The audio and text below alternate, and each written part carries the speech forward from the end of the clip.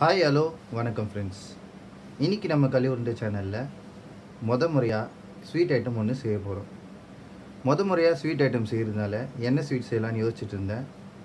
அப்போது என் ஃப்ரெண்ட்ஸு என்கிட்ட எப்பவுமே விரும்பி கேட்குற கேரட் அல்வா தான் இன்றைக்கி நம்ம பார்க்க போகிறோம் இந்த வீடியோக்குள்ளே போகிறதுக்கு முன்னாடி நம்ம சேனலை சப்ஸ்கிரைப் பண்ணாதவங்க சப்ஸ்கிரைப் பண்ணிவிட்டு பக்கத்தில் இருக்கிற பெல் ஐக்கானை ப்ரெஸ் பண்ணிக்கோங்க. வாங்க வீடியோக்குள்ளே போகலாம்.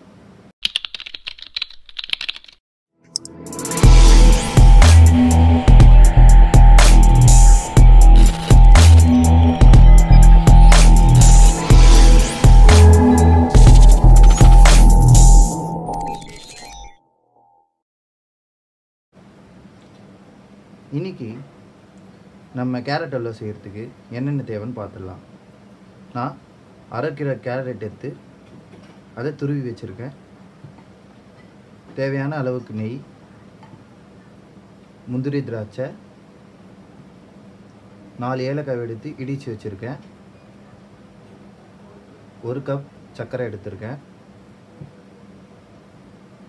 அரை கப் கண்டென்ஸ்டு மில்க் அப்புறம் அரை லிட்ரு பால் எடுத்திருக்கேன்.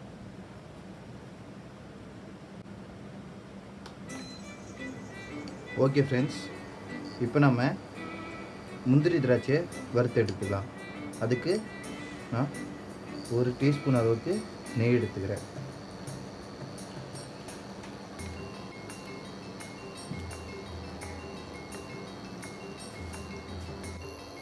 இப்போ நம்ம முந்திரி திராட்சை கொட்டி வறுத்துக்கலாம்.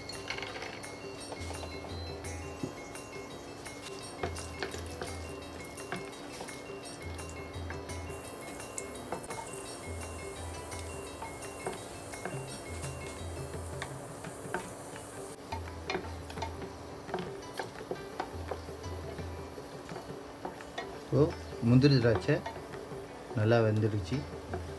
இப்போது இதை நம்ம தனியாக எடுத்து வச்சிடலாம். இப்போது இந்த முந்திரி வறுத்த நெய்யிலேயே இந்த கேரட்டை நம்ம சேர்த்துக்கலாம்.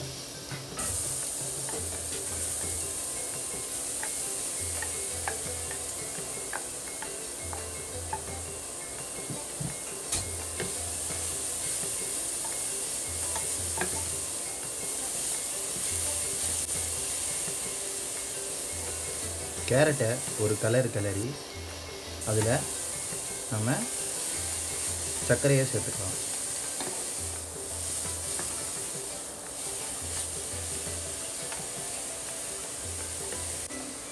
எப்பவுமே எல்லோரும் நார்மலாக செய்யும்போது கேரட்டை வேக வச்சுட்டு அதுக்கப்புறம் தான் மற்ற எல்லாமே செய்வாங்க.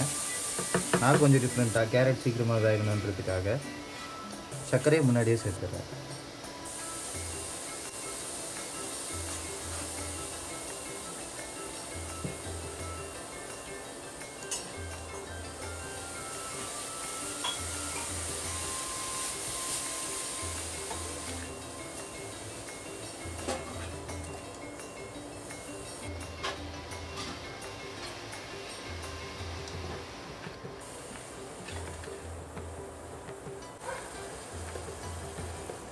சர்க்கரை போட்ட உடனே பார்த்தீங்கன்னா இந்த கேரட் பார்த்தீங்களா அதுக்குள்ளே ஒரு ஃபார்ட்டி பர்சன்டேஜ் வந்து இப்போவே கேரட் வந்துச்சு.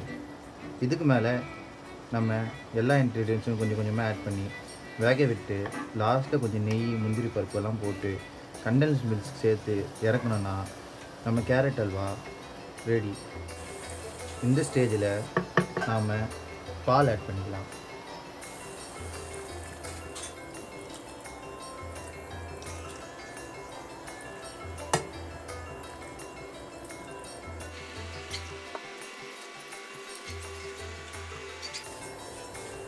நல்லா கிளறி விட்டு மூடி போட்டு ஒரு பத்து நிமிஷம் வேக விடலாம்.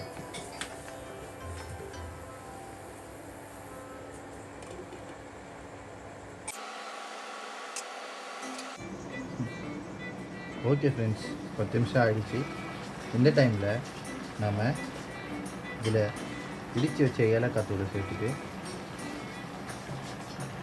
கிளறி விட்டுக்கலாம். இந்த டைமில் நம்ம இது கூட ஒரு டேபிள் ஸ்பூன் நெய் ஆட் பண்ணிக்கலாம்.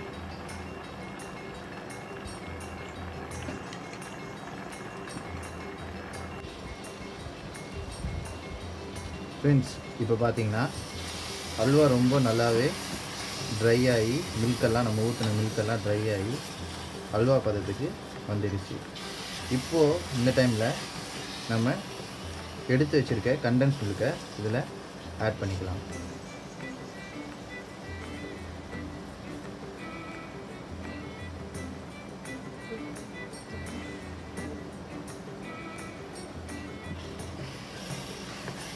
இந்த கண்டென்ஸ் மில்க் கூடவே நாம் நெய்யும் கொஞ்சம் ஆட் பண்ணிக்கலாம்.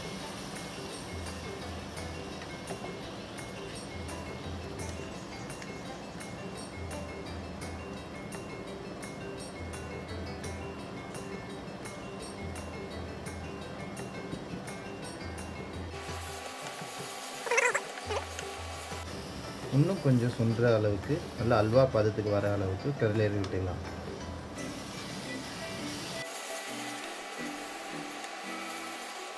இப்போ நாம் வறுத்து வச்ச முந்திரி திராட்சையை சேர்த்துக்கலாம்.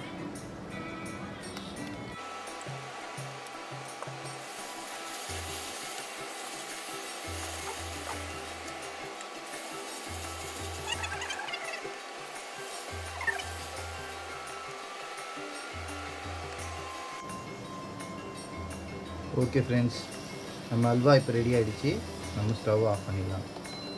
இந்த மாதிரி கேரட்டில் விதவிதமாக நீங்கள் செஞ்சு கொடுத்தீங்கன்னா கேரட்டே வேணான்றவங்க கூட ஏன் இந்த கேரட் வேணான்னு சொல்ல போகிறாங்க எல்லோரும் விரும்பி கேட்பாங்க.